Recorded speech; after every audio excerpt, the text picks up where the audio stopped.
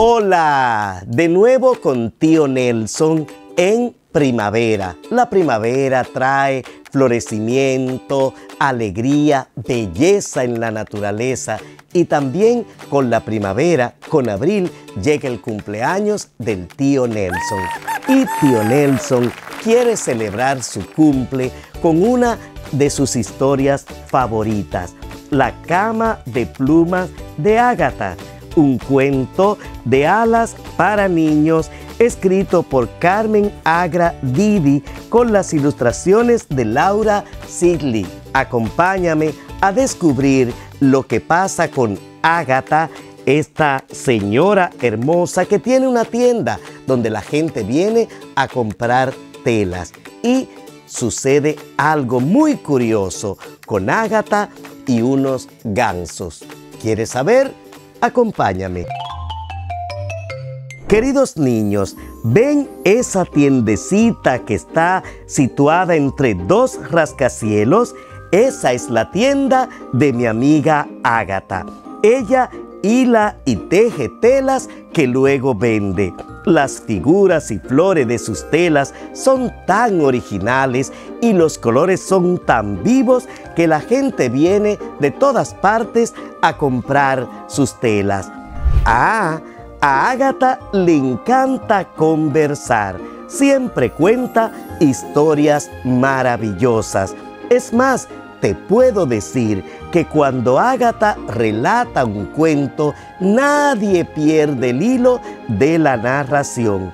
Esta es una historia que ella misma me contó. Debe ser verdad, porque ni siquiera Ágata podría haber inventado un cuento tan increíble como este.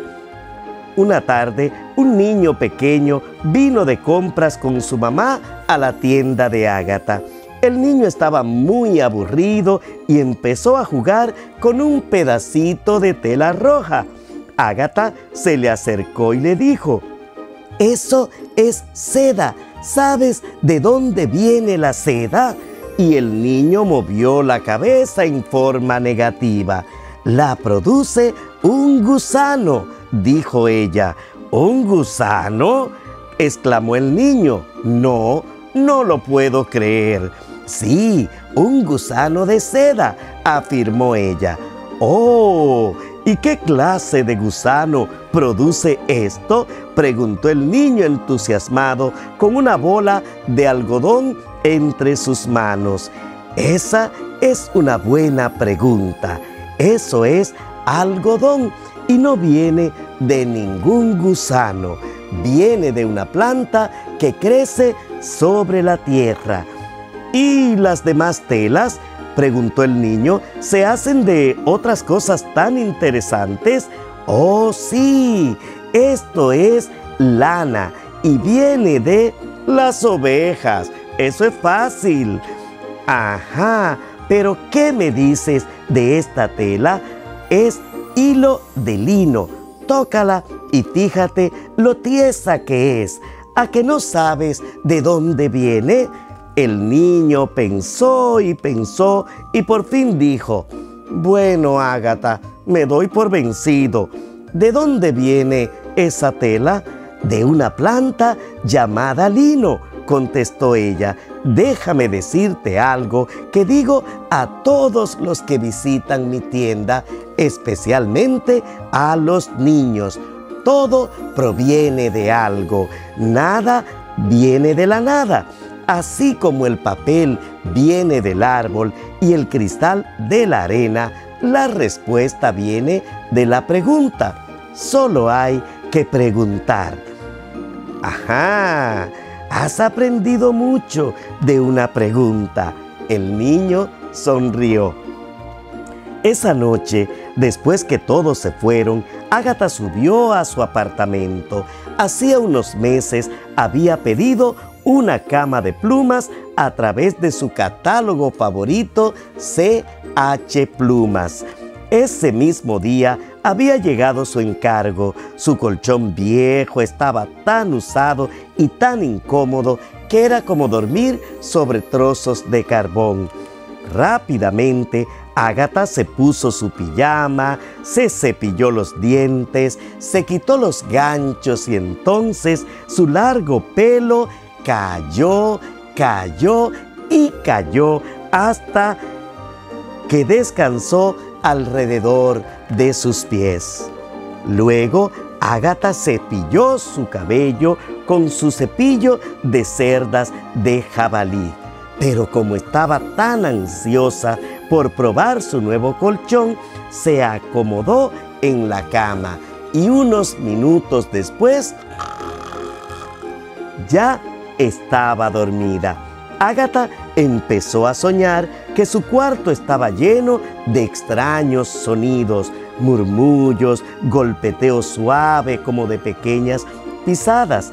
Se despertó sobresaltada al escuchar que su ventana se cerró de un golpe se volteó y vio parado en el borde de la ventana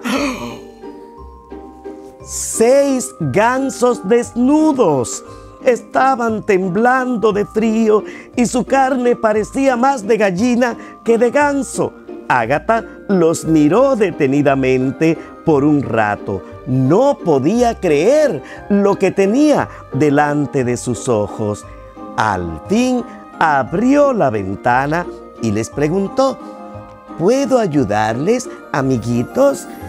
El ganso más pequeño, Sidney, entró en el cuarto, señaló con su ala pequeña y rosada la cama de Ágata y dijo, Queremos que nos devuelvas nuestras plumas. ¿Qué cosa? preguntó ella asombrada. Las plumas, Ágata, las plumas. Tú lo sabes, te hemos oído. Todo proviene de algo, nada viene de la nada. Así como el papel viene del árbol y el cristal viene de la arena, las plumas de una cama de plumas no crecen en los árboles. Expresó el ganso un poco enojado. ¿De dónde crees tú que han salido esas plumas de tu colchón? Ágata miró la cama y miró a los gansos. Volvió a mirar la cama y a mirar a los gansos. Algo le dijo que estaba metida en un problema y que ella tendría que resolverlo. Quiero decirte, Ágata, que hablamos muy en serio. Yo no jugaría con una banda de gansos enojados y desnudos. No somos un grupo de charlatanes. Esto se puede poner muy feo. Pero Ágata ya había tomado una decisión. Había trabajado muy duro para comprarse su cama de plumas. Pero, ¿qué puedo hacer por estos pobres gansos tan desabrigados? pensó. Vamos, vamos a hacer una cosa, dijo Ágata vuelvan dentro de tres días. Confíen en mí, por favor. Y entonces les entregó su tarjeta de crédito para que se hospedaran en el Hotel Plumón. Ellos entendieron que este era un gesto de buena voluntad y se fueron tranquilamente.